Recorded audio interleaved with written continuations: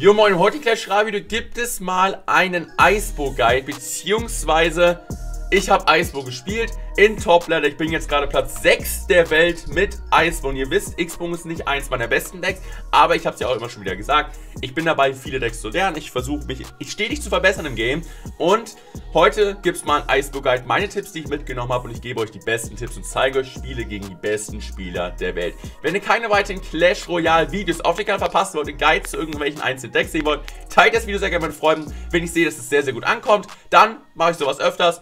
Teilt gerne mit euren Freunden, sagt Bescheid, schreibt in die Kommentare, welches Deck jetzt nicht sehen wollt, abonniert gerne den Kanal, würde mich sehr, sehr freuen. Jeden Tag 14 Uhr neues der Schra-Video. Seid heute Abend unbedingt auch ein Livestream dabei, da gibt es wieder nice Content und denkt auch gerne an Quercode Morten. Und ich würde sagen, wir starten direkt ins erste Game. Let's go! rein da. So Leute, wir sind im ersten Game, was ich euch zeigen will. Und das ist halt so ein Game, wo man wirklich gut sieht, warum Icebo wirklich wieder back in der Meta ist. Weil es wirklich sehr, sehr viele defensive Decks mittlerweile wieder gibt und die Rocket wirklich wieder extrem wichtig wird. Es gibt viel Electroshine, viel, ähm, viel Golem und deswegen ist dieses Icebo-Deck wirklich unfassbar viel stark. Viele, unfassbar krass stark. Viele fragen mich mal, warum soll ich Icebo spielen oder soll ich äh, 3.0 spielen? Ich bin immer der Meinung, allgemein eher 3.0, weil es halt Free-to-Play freundlicher ist. Aber ich finde gerade zur Zeit Icebo ein bisschen besser in der Meta, weil ihr habt die Option habt, in schwierigen Matchups Rocket zu cyclen. Ihr könnt hier sehen, er hat Lorg, Ritter, Giant Skeleton, Magier, Skami. Also er hat wirklich viele gute Antworten in der Defensive und ihr werdet ganz genau sehen, das ist so ein Matchup, wo ihr den räudigen Weg gehen müsst. Da bin ich ehrlich, da gibt es nicht so eine Schönspielerei, da müsst ihr wirklich einfach mal euren ähm, Kollegen auf den Tisch schauen und müsst sagen, okay, da wollen wir jetzt nicht wirklich irgendwie schön spielen, weil ihr werdet keine X-Bow-Connection bekommen. Ihr werdet in diesem Matchup keine X-Bow-Connection bekommen. Und ich glaube, ich spiele in dem Matchup einen offensiven X-Bow, weil ich einen Elixier-Vorsprung hatte. Und sonst spiele ich wirklich keinen. So, Hawk kann man ja Flawless an die Kings ziehen mit Tornado, was auf jeden Fall schon mal sehr, sehr hilft gegen sein Deck. Ähm, wir, by the way, wir spielen hier gegen Octopus, ihr kennt ihn, glaube ich, mittlerweile. Und ich glaube, ich spiele jetzt hier erstmal wieder meinen Tesla und ihr wollt es wirklich sehr, sehr defensiv spielen. Ich bringe keine aggressive Rakete in Single X-Time, ich spiele keinen offensiven X-Bogen, ich spiele erstmal defensiv. Und was, warum spiele ich defensiv? Ich möchte, dass mein Gegner Elixier committet, weil dann habe ich die Möglichkeit, ihn zu punishen, entweder mit einer Rakete oder mit einem X-Bogen. Das heißt, erstmal, ähm, muss man erstmal so rausfinden, was der Gegner hier spielt, wie er das spielt und was natürlich für ein Playstyle hat. So, ich gehe jetzt in den offensiven X-Bogen rein, ganz genau wie ich es gerade gesagt habe, weil ich halt einen Elixier-Vorsprung habe und weil ich noch einen Tesla auf dem Feld habe. Also wenn ihr noch so einen Tesla mit 50% Leben auf dem Feld habt, könnt ihr eigentlich immer ohne Probleme in den meisten Matchups zumindest mit einem offensiven X-Bogen reingehen. So, wir bringen jetzt den Tornado. Tornado ein bisschen gefailt. Kleiner Fehler von mir. Könnt ihr flawless machen. Ihr seht hier aber schon mal, ich muss langsam ein bisschen aufpassen mit dem King Tower. Weil mein King Tower hat mittlerweile genauso viel AP wie mein linker Arena Tower fast. Ähm, und ihr werdet noch sehen, das wird sich noch krass ähm, entwickeln, da das Game. So, ich spiele jetzt den Log. Er spielt auch einen Log. Alles gechillt. Ähm, und ich würde sagen, jetzt gibt es hier Skeletons. Ich spiele jetzt hier den Ice Wizard. Ich muss jetzt auf jeden Fall aufpassen. Ich spiele jetzt eine Rakete. Es war relativ klar, dass er noch eine Sekunde warten würde mit dem Hawk Rider.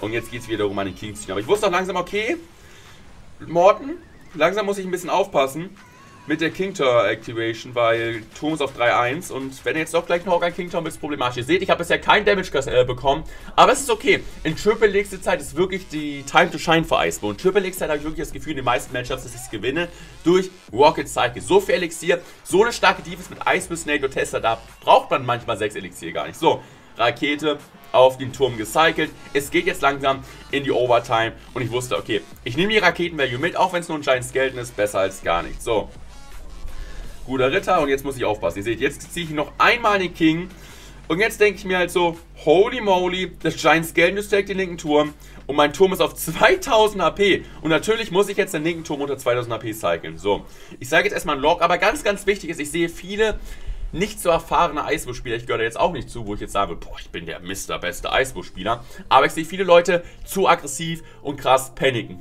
Ich habe jetzt 900 Damage Rückstand. Gespannt bleiben, entspannt bleiben, es sind noch immer noch 1 Minute 30 left. Das heißt, kein Grund zum Paniken. So, ähm, was ich jetzt hier machen werde, ist, ein ist muss ich so spielen.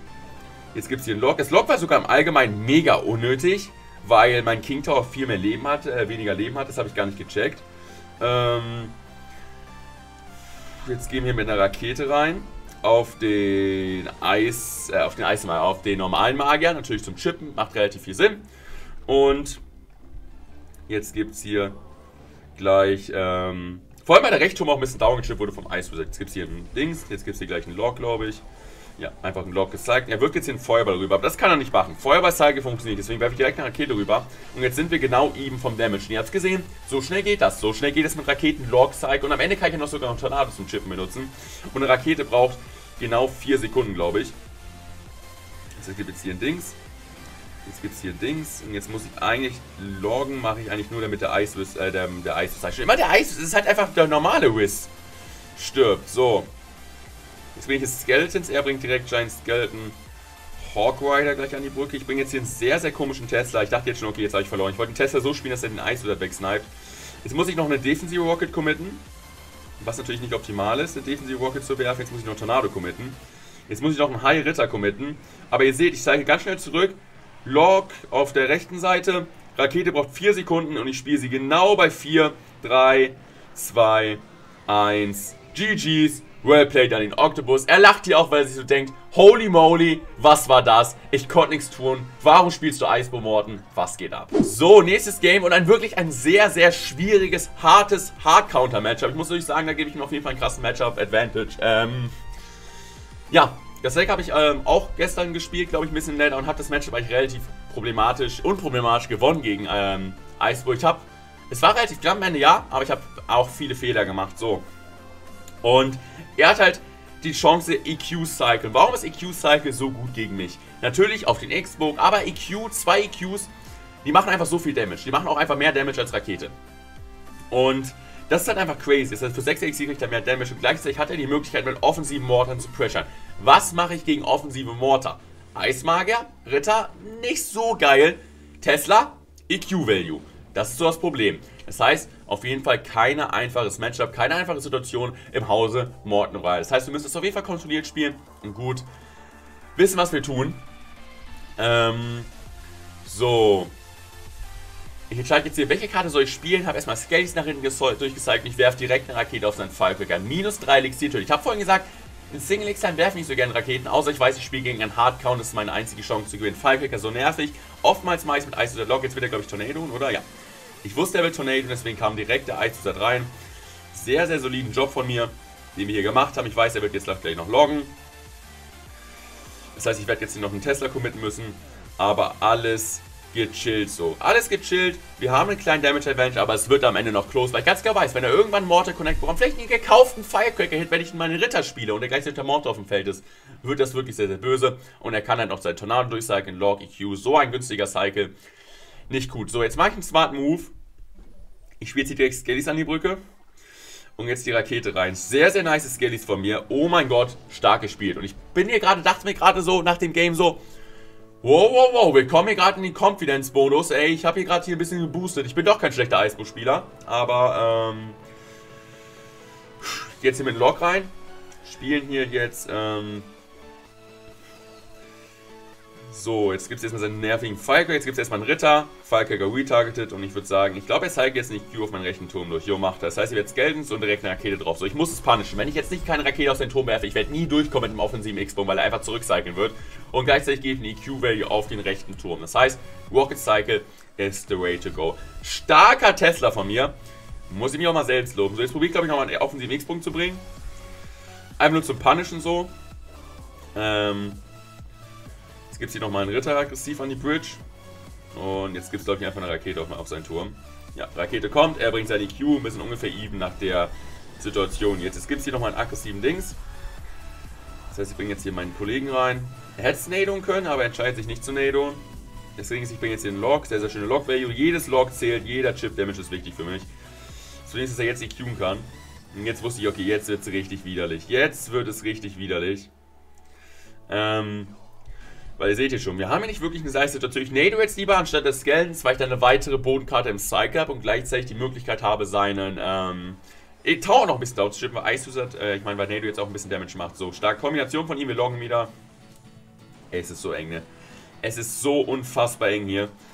Jetzt gibt es hier, glaube ich, einen Tornado von mir, damit der Firecracker keinen Hit bekommt. Jetzt zeigen wir hier zurück zum Log. Log kommt drauf, er wirft das jetzt. Und ich weiß, okay, zwei Raketen plus ein bisschen Chip.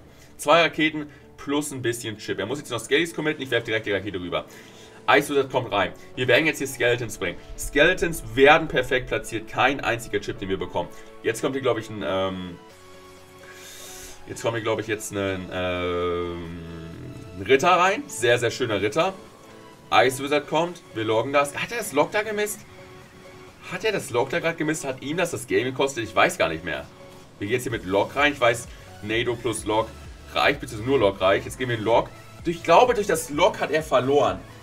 Ich kann es nicht fassen. Okay, das habe ich gar nicht gesehen in dem Game, wo ich das spiele. Aber ihr habt hier gesehen, es war ein Space Cycle Game. Es war extrem knapp. Und wir haben wirklich perfekte Defense gegen seinen Mortar gespielt. Natürlich, das Rocket Cycle Game ist nicht wirklich Skill, aber sein EQ Cycle Game ist auch kein Skill. Aber wirklich, wie wir immer konstant den Mortar verteidigt haben, auch mit unterschiedlichen Defensiven, war wirklich sehr, sehr stark. Und das war wirklich ein schönes Game. Let's go, Jungs. Ich würde sagen, wir machen noch ein weiteres Game, was ich euch jetzt zeigen werde, gegen Graveyard. Was auf jeden Fall ein sehr, sehr lustiges Game war. Aber das sind eigentlich so die Meta-Decks, die ihr faced. Ähm, natürlich gegen Golem ist nicht unbedingt einfach. Ich würde auf jeden Fall nicht sagen, dass Icebo zu den besten Decks der Meta gehört. Versteht mich nicht falsch, Icebo ist nicht unbedingt stark in der Meta. Aber es gibt Matchups, die ihr gewinnen könnt. Dieses Deck hat viel Potenzial und allgemein hilft es euch besser zu werden mit jedem X-Bogen-Type. Weil X-Bogen eigentlich immer spielbar ist. Das heißt, wenn ihr zum Beispiel auf 5000, 6000 Trophäen seid, ist X-Bogen immer spielbar. Schafft es dann mit einem Top-1-Finish? Sehr, sehr schwierig. Aber es ist ein konstantes Deck, um Pokés zu pushen und es wird eigentlich sehr, sehr selten genervt. Und ich würde sagen, ein weiteres Game. Bis gleich. So, das ist ein relativ einfaches Matchup. Da werde ich auch durch, durch zwei ähm, durchskippen. Ich habe das Matchup nicht wirklich gut gespielt. Ich habe, glaube ich, ein, zwei Sachen, die ich ansprechen wollte, wo es sich gut analysieren kann. Ähm, so, ich spiele jetzt Skellies. Ich wusste auch direkt, er wird Splash jetzt spielen. Ich kannte den Typen, glaube ich. Hm, oder beziehungsweise ich wusste nach dem IOS hier. Ähm, so, wir gehen jetzt hier rein mit einem Tesla, werden jetzt hier einfach locken und Problem mit dem Matchup ist eigentlich nur der Inferno Dragon. Der kann ein bisschen problematisch werden mit so einem Inferno Dragon Graveyard Push oder Bowler Tornado. Ihr werdet sehen, er macht sehr, also der Typ ist einer der besten Graveyard Spieler der Welt. Er weiß ganz genau, was er macht. Vor allem, er kriegt sehr, sehr gute Tornado Usage immer. Ähm, er benutzt immer Tornado Bowler so, dass er immer den Turm angreift. So, jetzt mache ich einen Smart Move. Ich gehe nicht mit X-Bogen rein, weil ich ganz genau wusste, er würde Bowler Value bekommen. Das heißt, ich zeige jetzt einfach hier einen Log. Und jetzt, jetzt, jetzt, jetzt kommt ganz, ganz wichtiger Fact, wenn ihr gegen dieses Deck spielt oder wenn ihr allgemein gegen Elektromagier-Decks spielt. Gegen Elektromagier-Decks, gegen Graveyard, ihr habt nicht so gute Anformen wie mit 2.9 oder 3.0, ihr habt keine Arches. Das heißt, King Activation hilft immer sehr, sehr viel. Und ich wusste, okay, ich gehe jetzt links mit dem X-Bogen rein, damit er keine Chance hat. Das heißt, er muss ja den X-Bogen defenden. Er hat ja keine 3000 Elixier. Das heißt, er muss den X-Bogen defenden. Und damit kann er den Eos nicht beschützen. Das heißt, ich kriege eine easy King Activation. Ich werde jetzt ganz genau sehen. Er entscheidet sich für die andere Option. Droppt eine Valkyrie davor, hat kein Elixier für Bowler und alles geht. Seitstelle hätte ich sogar einen Ferndragon lieber gedroppt. Das heißt, ich werde jetzt einfach einen Ritter droppen und Skelly ist dahinter und es gibt jetzt hier einfach ganz gechillt einen Tesla. Alles gechillt, easy Defense und wir haben so einen fetten Damage Lead. Aber ihr wüsstet, ihr kennt Morten, wenn ihr Morten kennt, dann wisst ihr, das wird nochmal knapp. So, ich werde jetzt nochmal sagen, ich werde jetzt auch einen defensiven X-Punkt bringen, der auf jeden Fall nicht schlecht ist. Ähm, jetzt gehe ich hier so rein. Ich würde jetzt hätte ich zum Beispiel eine Rakete auf den linken Turm easy werfen können. Ohne Witz, ich glaube, eine Rakete wäre sogar besser gewesen, als jetzt so ein High-Tester zu jobben, weil dadurch musste ich jetzt Elixier, deswegen ist das Elixier, ich lieber in die Rakete investiert, hätte minus 6 Elixier gemacht, weil dann hätte ich warten können mit meinen Truppen. So musste ich Truppen spielen, um Elixier nicht zu liegen, wenn ihr versteht, was ich meine. Ähm, ich hätte auf jeden Fall eine Rakete jetzt links werfen können, spiele ich einen richtig schlechten Ice Wizard. Der X-Bogen offensiv war auch komplett fail. Also gerade nicht gutes Gameplay im Hause Royal. Das war halt jetzt extrem schlecht gespielt. Es war halt komplett unnötig aggressiv gespielt. Hätte ich nicht machen müssen. So, jetzt gibt es hier gleich einen, einen Rocket. Hätte er rechts gefühlt, hätten wir wahrscheinlich verloren gefühlt. Okay, jetzt gibt es, glaube ich, die nächste Defensive X. Alles noch gechillt, aber es wird langsam, wo ich so denke, ah, das Game kann doch langsam mal vorbei sein. Jetzt gibt es hier wieder einen Tesla rein. Und jetzt denke ich mir halt so, jetzt seht ihr hier gleich die Tornado Rocket kommen. Ich dachte vielleicht, dass es reicht. Hat jetzt im Endeffekt nicht gereicht, aber war jetzt auch nicht der größte Unterschied, ähm, um ehrlich zu sein. Jetzt gibt es hier sowas. Hm. Jetzt gibt's. Ja, jetzt war es wieder ein bisschen eng und ihr werdet sehen, es wird nicht so nice. Der offensive x war auch nicht so geil. Also ich mache Fehler, ich mache Fehler, wo ich mir denke, Hilfe, Hilfe, Hilfe, die macht ein guter Eisbo-Spieler nicht. Ähm. Jetzt gibt es hier Tornado Rocket, war auch wirklich nicht gut und es wird jetzt extrem knapp. So, hier High Dings rein, jetzt wird er hier gleich einen Dings spielen, Tesla kommt rein, Nado kommt rein. Log kommt, glaube ich, mal rein zum Chippen, ISO Skelly Dings. Tester macht einen guten Job, jetzt werdet ihr was sehen. Jetzt, jetzt werdet ihr sehen. Es ist extrem knapp, aber ich weiß, okay, Rakete reicht. Rakete reicht relativ easy. Jetzt werdet ihr sehen. Oh mein Gott, ich habe die Rocket gemisst.